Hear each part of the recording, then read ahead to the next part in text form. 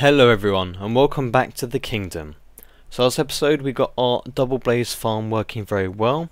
Very pleased with that, that was a really fun project, I really enjoyed doing that. Took a very long time, but you guys seem to like it on the likes it seems. But yes, we have a double blaze farm and that's great. Unfortunately though, we've been talking to Dinnerbone since then about the changes 1.7 and the main thing is that because of terrain update Things like witch huts and any other structure in a biome, so nether fortresses, witch huts, anything like that, maybe even slime chunks, will all be changed in the 1.7. So the most likely scenario at the moment is that we will lose witch farm completely. It will just disappear. It may be relocated, it may go somewhere else, or it may just completely disappear from the biome. So that's unfortunate. Now on Hermitcraft server we're talking about maybe we would look at resetting the nether because the fortresses will stop working as fortresses, therefore, if you reset the nether, you'll lose everything in the nether, but then you'll get new fortresses which will work as fortresses. Now, I mentioned this at the end of last episode, and I haven't gone and generated the quadruple cross-section fortress that I was thinking of using as a witch, not witch farm, a wither farm. Now, I'm still not generating that, and I haven't generated a huge amount of my nether or even the overworld because of this update that was coming up. So we're to see what's going to go on for that.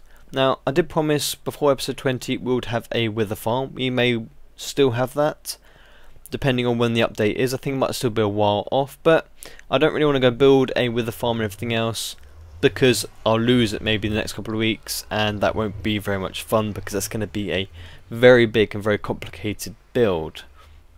So unfortunately this is probably going to go, this witch farm, which will change quite a few things around here. I need to stock up the glowstone things before it would disappear. I don't want to set up a whole new mob perimeter to make another witch farm.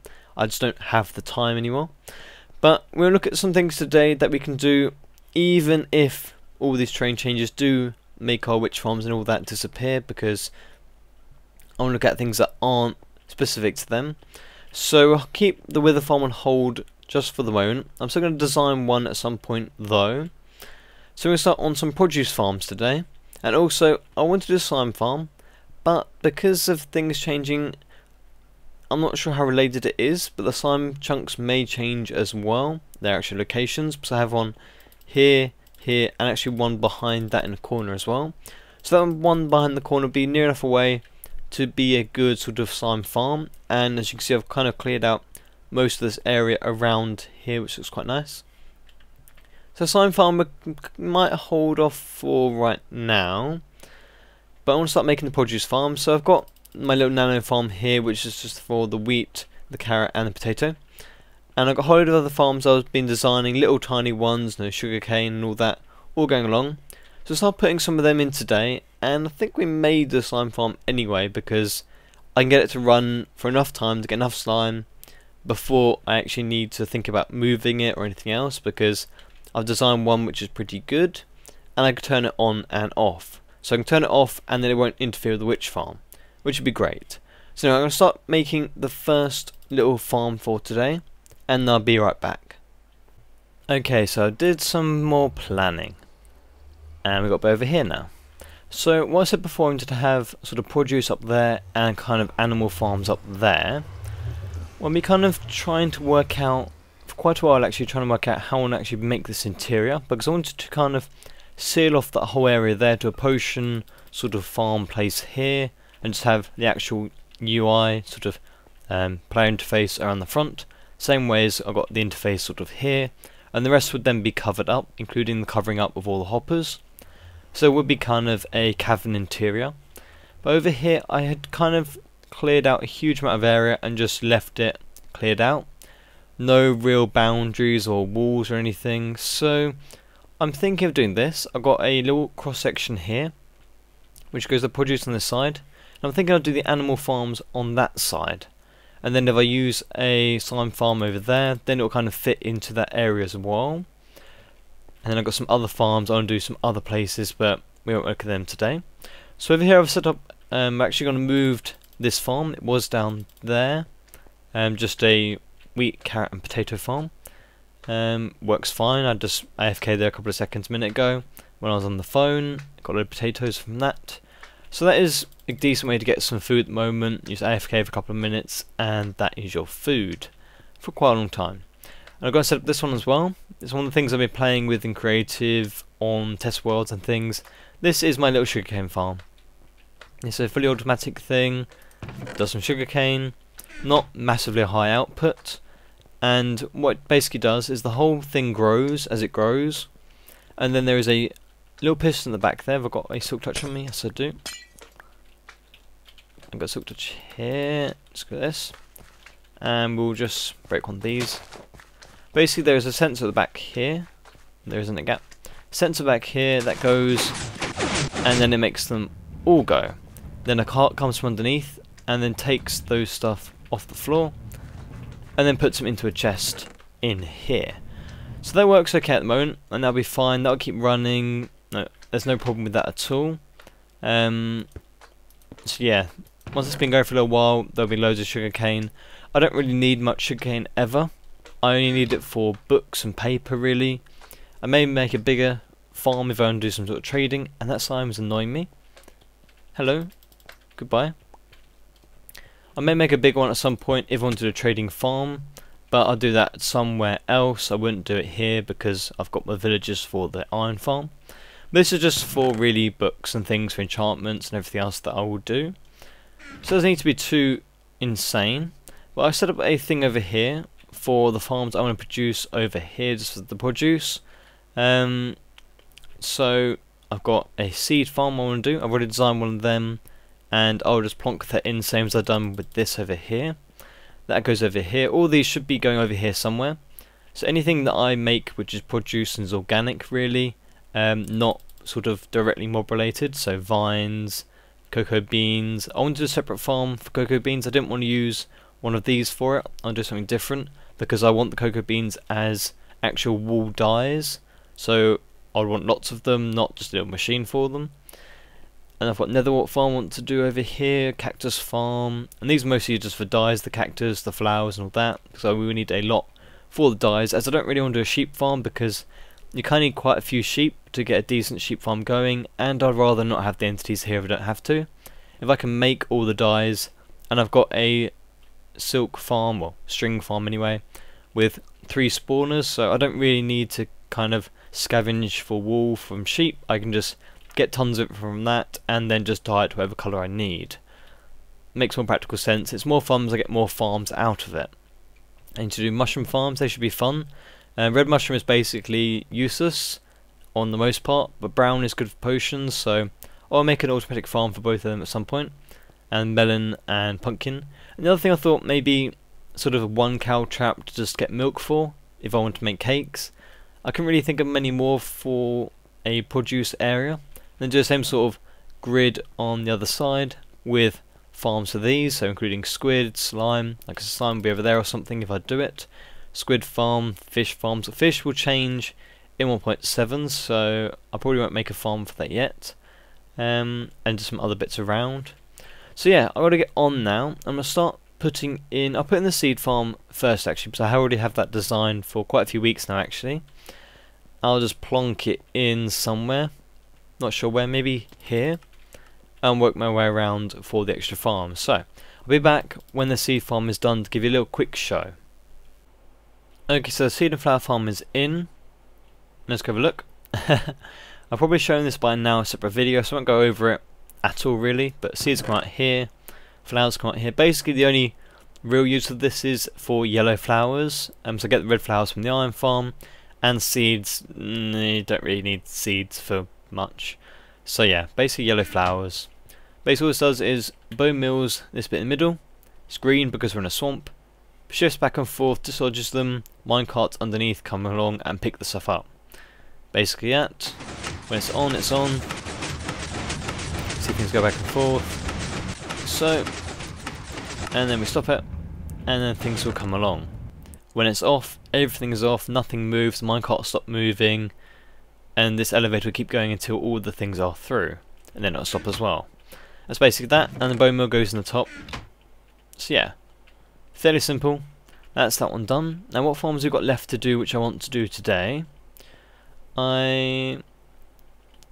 Not sure I want to do any of these more today. I think we may do the slime farm though, because I really feel up for a big, impressive looking build, because it's all going to be very dark here at the moment, because I haven't kind of settled out how big the whole room's going to be. When I've done that, then I can put in things like lava roof lighting and all sorts of different things to work out all of that. But for the moment, it's going to be kind of dark, so I do apologise on the video.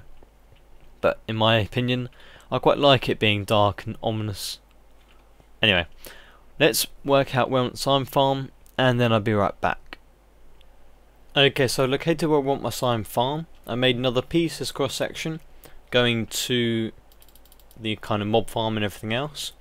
Now I need to work out where I want the slime farm to be located. So I've got a number of slime chunks around here. I've got one here, denoted by the inside bit to this square, where these are the corners. Saying there's one here. Now they went really far enough away from this cross section to be very good. Because I need the whole chunk itself, the 16 by 16, plus a 3 around the whole thing. So it would actually be in total it's 16 for that, 3 on each side, so it's actually 22 by 22 square. And that would have been a bit messy to have right in the middle of this area. Because the aim is probably going to be just to have the central bit of collection from different mob farms to come to it. So if you're standing around here, you want the actual farm to be active. And you've got to be more than 24 blocks away from the pads for the actual slimes to spawn. So I decided to use this one in here. Which I've gone and mined out by hand. Didn't really use much TNT because in actual fact efficiency 5 that's my mouse going. And that's it back. Efficiency 5 pickaxes and a haste 2 beacon is much faster than using TNT and much cleaner as well. So I've actually smoothed out all the walls and did that all nicely. Show torch laying here for some reason. Now to get this to work I had to circumnavigate something so be right back okay. So my mouse has been giving me some problems lately, the drive was a bit annoying, and that's why the coming in and out USB sound is coming on sometimes, I can't really help that. So this is the slime chunk it seems, and this actually in between the iron trench parts, so the main body of it is over here, like so, and the wiring did go along this tunnel, all the way along here, into this one over here, which then did the rest of the actual farm itself. Now, because I wanted my slime chunk right in the middle, I had to circumnavigate it by putting the wiring along this bit down here. It comes out down the bottom and then joins up around the whole thing. So that's not actually going to be a problem, so that's fine. Now for this farm, I'm going to do a one you can turn on and off because in my first Let's Play world, I had a slime farm which had a one layer only and that produced too much slime for everything just with one layer. And this can produce maybe 10 stacks an hour or something of slime. So having loads and loads and loads of pads is not an important thing in the slightest I'm never going to be able to use more than maybe a couple of hours worth of fully running speed. So it's not really a big consideration. My mob perimeter is good enough such that the spawn to be good enough to produce enough so I'm going to be doing a design which I did some testing on and did a video on recently. It's going to be just a six floor design most likely with a flushing system of water on each one. Um, just so you can turn all the pads off on demand so the slimes will stop spawning. Which will also stop interfering with the witch farm and anything else around here that I'm doing. So that is the whole thing mined out. That's good. Now I'm going to put in the water streams first and the first spawning pad. Make sure we do this first to make sure everything above that works fine. Now for this I need a controlling tower. Basically it's just a little tower on one corner and from that there's going to be a piston with some redstone blocks on each level which then extend and activate everything on each level which then turning on the flushing mechanism or turn it off. So I'm going to work out where to put that as well and put the water down the bottom to make sure they can all come to one point to die. Should be cool. So I'm going to do that and I'll be right back. Okay, I guess it's time for an update. I have made a nice big cage around the actual levels that I want to use for the spawning pads so I can actually make this into a nice really freestanding cage and kind of sit from the outside put a nice little roof on it and it'll be its own structure Now I've used iron bars here just for looks really, and really when slimes do fall down, they should be able to make their way off this little ledge here. If not, then there might be some problems, but hopefully they can make their way off and then down into water streams below. Now these are completely flat, so let's go down here. All the water is on the bottom level, so it moved them from there all the way along, down, up, and keep moving all the slimes across into this little bit here. And then go up to here and go into lava blade. This lava blade will split them up into one by one slimes, and then they will fall down a little gap there and die for full damage. Now I've had quite a few come through already, and there's probably loads of slime in the hoppers I've got collecting. And the control tower is going to be in this corner over here, so I need to wire up a nice long bit of wiring from a switch over there all the way along down and into the bottom of this. Should be a problem, just be uh, a bit of a annoying thing to set up really. so gonna make sure I don't kind of disturb at a later point, but it shouldn't be that bad. Down here it goes down to lava blade, soul sand to make sure they don't hop around, and they go into there. Let's see how many are in here. Oh, that's another bits as well. So there's quite a few stacks come through already just from one little pad running for a little bit. Um, I didn't really mean for it to be running, but uh, it's going to be running anyway. Oh, there's a slime there. We can see that one come across. If he path runs correctly, which he isn't. I don't have my bow and arrow on me. Okay, so each pad is going to be like this. Um, gold blocks because my gold farm. If you're new, I have a very big gold farm. Enough said. I'm going to do a 4 gap between each layer. So the 3x3 slimes can jump around. We'll just hit him off actually. Um, so the 3x3 slimes can jump around in the 4 high gap. And each pad is actually going to be 2 blocks thick. So I have one bottom layer of it which will be providing the water for the layer below. And the actual pad on top of that bit will then be where they're going to spawn on top of. So I'll explain that very, very soon um, in a minute when I go into a clip where I've got some of the layers done to show you. Um, but to show you this going in first, it will hop along, yeah, lots of fun there and they come across and they die. So it's pretty simple, nice to use. Now from that I've got hoppers going down to the bottom like you saw. I'm going to have a minecart every now and then with a really long hopper timer. Just going down there, picking them up and then coming back to a chest on the surface somewhere. Might have it in the middle, sort of when you come in there to be a little slime face and you get a chest of slime. Or might be somewhere else, I don't really know. Haven't really got to that point yet. Um, yeah, this goes all the way up and it should be nice. So I'm going to start putting in the in the actual floors. I'll set up the first floor how I want to do it. It's going to be different to what I've done before I think. I'm going to edit it a bit and I'll put in the first bit control tower and I'll wire that up And we give it a little test on the first pad. So I'll see you in a bit. Okay, true to form, I may have done a bit more progress than I said I would, but oh well. so all the pads are now in, all six of them. All flushing mechanisms are built in as well in the bottom part of the pad. I changed outside to give fence gates the loads of signs which I had in my little concept model. Now fence gates work the same but I get less things needing to be to hold the water in. Yes there's more parts of them to render so not better than signs. I could use signs across and being a little bit better on that but I like how these look. So basically all the floors are lit up from above with the glowstone. And I've used gold. Yep, I've used gold for my gold farm. I spent quite a few hours AFKing overnight to get enough gold for all the pads, but it definitely looks good. I like it, looks nice and clean. The control tower is now done, so all the water system is automatic um, if I press the button. So that's the farm on. Now I've got too much slime through already. Um, I've got some here for building it, I've got about the same again down there in a chest from there coming across. So I don't really want this running very often at all, if ever. It's just meant to be something that looks nice. Um, it's been a little problem though, because I've used this here to give it a nice seeing effect to the slimes that need to use glass. They do get stuck on the edge here, which means I probably need to extend this um, actual bars down right to the bottom um, so they don't get stuck on anything.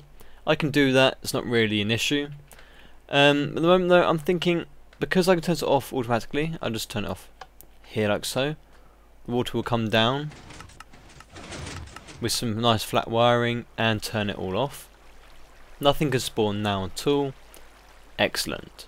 Lovely. I think it looks pretty nice as well. Nice and sleek, not touching on the sides. I like it. I think it looks good. This main aim to look nice in the world. Just turn it back on.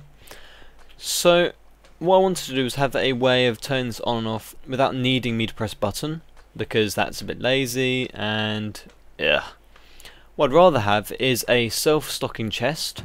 So when this is full, say just for example this bit chest, the chest is to be up there somewhere because we're actually underneath the floor level of this area. So say when the chest is full, then it will send a signal to the farm to say, okay, we've got enough slime, turn the farm off. Then when I come along and take some slime out, it will then say, oh, we got room for some slime, or we need more slime. It turn itself back on and fill itself back up. That'd be a really cool thing to have, just a self-filling slime chest as such. Um, could be really nice to use. So what I'm going to do is put in a sensor system and I'm going to work out that. That is the next point I've got to do.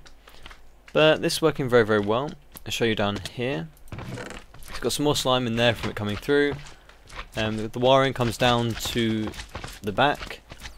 Little diode here just makes the signal a little bit longer just to make sure that everything works correctly because there is some issues when you're going through lots of redstone torches and things of the orders which they go and the pistons bugging out and lots of things. Um, so this goes up in a little tower, turns all the pistons on. Actually I can take this one away here. That was only a scaffolding tower but oh well. So that is is a generally quite a simple thing. Um, the actual redstone on it is quite nice because it's all one layer thick underneath the bottom bit of the pad. It's like so, but they just go under there actually. So it comes from the corner. This one extends, turns this one on, pushes them all across, turns each bit on or off, and then when they retract again or go the opposite way, they then turn the thing on. So this one here will retract, and then extend when the pulse comes. When it extends, then it will turn it on. That's why they don't all go on exactly the same time, and it's just easier that way. We just show that they don't go on exactly the same time. Those ones on, and then those ones on, just like so. I think it's good. Yep. So what we'll do now is set up this wiring for the automation. Then I won't need a thing up here at all. Just have a chest at the top and a sensor down the bottom. So I'm going to get on with that and I'll see you again in a bit and this is just bugged. okay, so it's done. Slimes come down, you've seen that already. They go to the bottom, they come to the minecart. You haven't seen this bit yet. The minecart then comes up. Up it goes like so. Up the hill tower. Comes to here, drops its items off. Goes into a drop elevator into the chest. Now, for this, to make it completely automatic, I've got the whole part of this where oh, I actually got some cobble in here somewhere. Um, once this is all filled up and it backs all the way through the drop elevator and into this hopper here. When this hopper's got more than it's about half a stack or so of items into here, more than 23, then from this it will give a 2 signal from this which goes into this repeater which goes all the way down to the bottom which then goes to a double sort of flip-flop pulse generator thing uh, I cobbled together. So let's chuck some cobble in here to show this.